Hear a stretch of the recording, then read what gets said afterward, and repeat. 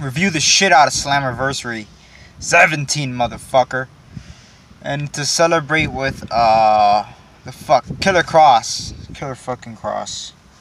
God damn, dude. It's in Chinese, though.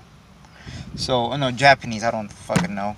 But it's, you know, those symbols, so you can't understand that. I was expecting, I was, I want to get Rob Van Dam, they didn't have it. So, Killer Kross, second best. Or Eddie Edwards. Those two are just fucking cool. O-V-E. O-V-E! Sucks! God damn, that show was fun. Overpacked. Next time, get a fucking bigger venue or some shit. It was way overpacked. As soon as the show started, there was like a shitload of people all in the back just standing up. Like, oh my god, you could have just gotten a fucking. You could have gotten a goddamn fucking bigger venue, at least, with more seats. God damn, oh, you left almost half the arena standing up. I don't think they were expecting that many people to show up. I don't know, 2,000 people I think showed up. A 1,000 to a 2,000. I, I think they were not expecting that much. But, well, we came in. We showed support for you. I mean, you, you've been here before. Well, bigger names, di- fucking different times. Oh my god, match of the night? I don't know. I think I might have to go with uh, Michael Elgin and Brian Cage. Those two just fucking killed it. That Canadian destroyer out of nowhere. Holy shit, dude. Oh my god, I wish I caught that on film. That was that was a badass. That was like the spot of the night right there.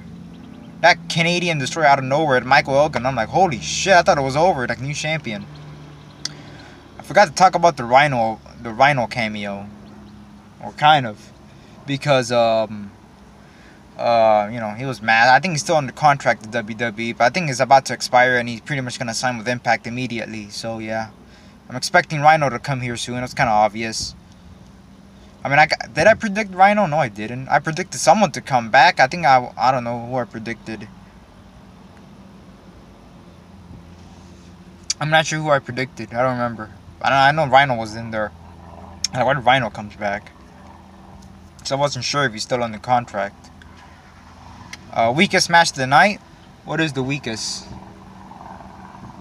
Hmm. Can't think of. I think maybe the tag team match because it just ended out of nowhere tag title. They, that match, that shit just ended. You know, yeah, because uh, like one of the members got hurt. I think it, it, got a legit injury. I remember I saw I saw Cole talking to Josh and Don in the commentary. You know, he put he put the X up, and then you you see the fucking referees and shit come down. So I don't know. Second, I mean the main event unexpected. I think the main event definitely should have been Cage and Elgin, but whatever. I think the main event Sami Callihan and Tessa Blanchard. I think they should have done that as just some another pay per view, like after Slammiversary and Bound for Glory. I think they should. That's when they should have done it. Oh my god. Good shows though. Sami Callihan knows how to fucking work the crowd. I gotta admit, he knows how to work the crowd. I mean, he did. Did I? I don't know if I came. I still, I still haven't looked back. I think they had the different camera angle. The the camera angle facing the fucking the, the the entrance ramp instead of the crowd. I know I know a few times they they recorded the crowd when some moments saw the camera, you know, like moving around the crowd when something happened. I know it definitely hit me because I was I looked right at it. So that's also when everyone gets up and it's like it's hard to see what's happening. Uh, who was I most excited to see? Rob Van Dam or Rob Van Dam. It was cool seeing Rob Van Dam. The North, I think the North are a cool, cool ass tag team.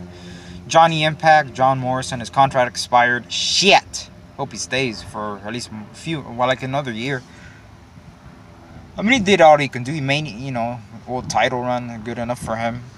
But you know, they, they gave him Bound for Glory last year. Hopefully, he stays. At least put over puts over a few more people. At least have a few more good feuds. I mean, he's pretty entertaining. The guy he's with, um, Johnny Bravo. He's. He was entertaining. He. oh my! I, I, I was actually laughing. I have it on video. Uh, what else? I hope Killer Kross doesn't go. I hope he stays. Uh, I think this is like this company, like they make him look like the most badass. I don't know if AEW or maybe they will. I think AEW could do it. New Japan. I think New Japan might just make him just look like some, you know, just, just some fighter. But you know, Impact he give they gave him that edge. They give him that person the the personality he he he he has. So yeah, I think Killer Kross is fucking cool.